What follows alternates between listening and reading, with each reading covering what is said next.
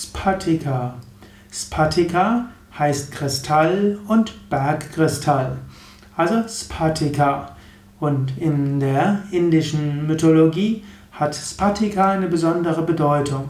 Spatika als Kristall gilt insbesondere als der göttlichen Mutter heilig. Spatika wird im Tantra zum Beispiel verwendet. Es gibt Murtis, also Götterfiguren aus Spatika, die sollen besonders machtvoll und energetisch sein.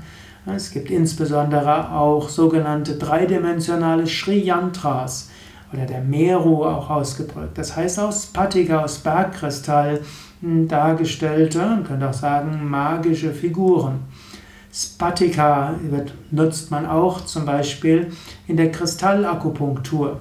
Wir haben ja auch bei Yoga Vidya Kristallakupunktur Ausbildungen, wie du statt mit metallenen Nadeln mit einem, ja, wie kann man sagen, jedenfalls mit einem Kristallstab Heilung bewirken kannst, Energie übertragen kannst. Diese hm, Heilstäbe hm, gibt es nicht nur aus Kristall, auch aus Rosenquarz und anderem, aber gerade die Spatika gilt als besonders machtvoll. Also Spatika, Kristall, Bergkristall, ein Material, das besonders für die göttliche Mutter von Bedeutung ist.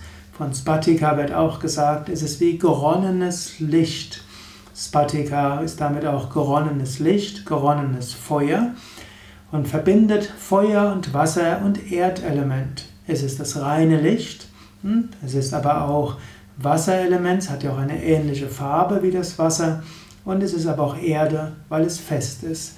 Und so hat Spatika eine besondere Kraft und Macht und es gilt auch vorsichtig damit umzugehen.